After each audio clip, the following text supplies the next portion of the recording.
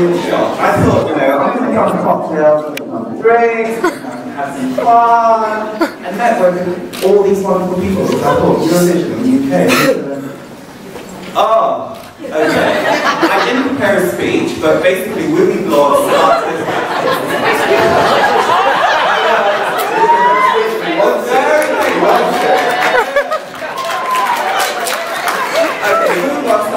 six years ago, and we just thought that we needed to infuse attitude into journalism, and we grew and grew and grew, and we're being awarded today. Thank you guys.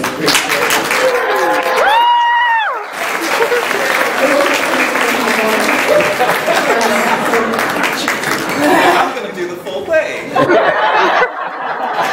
I was told I was allowed to speak as well, the first